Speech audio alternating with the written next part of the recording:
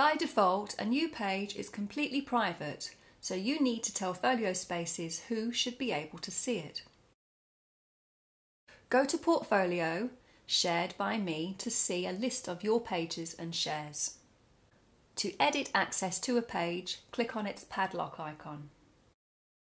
Share the page with everyone on the internet by choosing Public in the drop-down list. You can remove and share by clicking its trash icon.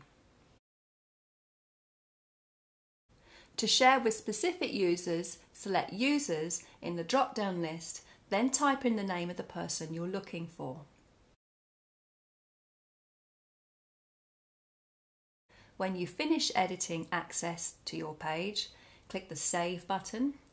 Individual users will receive a notification to say that you've shared the page with them if you need to share your page confidentially with somebody outside of FolioSpaces, use the secret URL method described elsewhere.